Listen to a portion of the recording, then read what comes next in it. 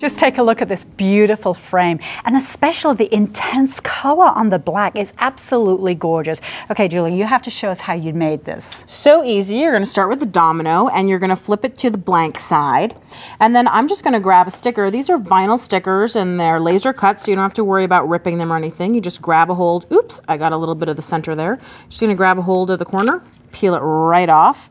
And then here's the important thing. When I put it down on my domino, I'm going to go ahead and anything that hangs off, I'm just going to fold that on over. And that's part of the nice thing about using these three-dimensional right, objects uh -huh. is we're going to get a real sort of 360 degree look at this, okay? That's so basically it's just an outline. Yes, mm -hmm. it's beautiful. It's going to make me look like an amazing artist.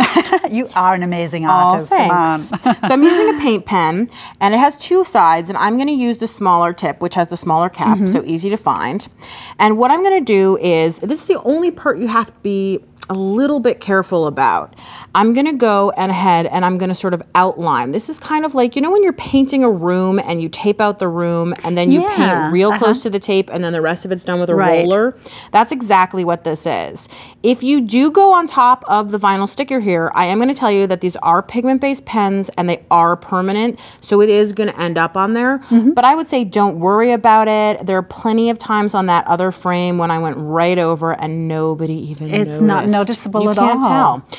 And when you get to the edges, the only special thing to note is just tip it up and then you can easily cover those sides as well so that you cover the whole thing and you go around everywhere just get in there just going all the see. way around the outside yeah mm -hmm. you know and again this is another one of those things you can totally get the kids involved with this you can, you know, do this very easily, you know, when you're relaxing or hanging out. This is an easy one to do. Oh, this is nice when you're sitting by the fireside, your feet up on the coffee yeah, table. Yeah, yeah. exactly. Cool. So then the nice thing about this pen is obviously because it has the two tips, now is the part where, like I said in the room, you're going to go with the roller. Mm -hmm. And now I'm just taking the big sweeping strokes and I don't have to think about it because all those little tiny areas are already filled in and I'm going to go right across here.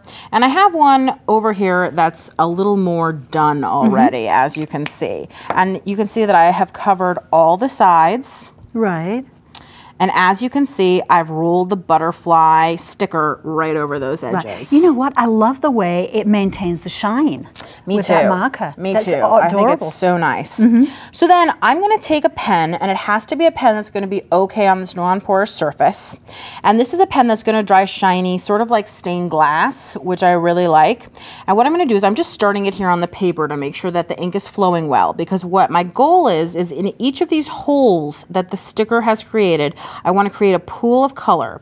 And while that pool is wet, I'm going to come in with a second color and I'm going to add some color to it. And now can you see how those are oh, starting going to, to blend, blend into each right. other? In other words, exactly. they're bleeding into each other, but that's the yes. effect that we want, right? And sometimes if you come in with the lighter color, you can really get it to stroke in even more, which is nice. But would you actually always start with the lighter color first, or does it really matter? You know, I have a lot of trouble with always because I don't really follow there rules are no rules, well, right, when we're crafting. But I mean, I think it's generally a good idea to start, you know, light and then mm -hmm. get darker because you can always add more dark. It's hard to add more lights.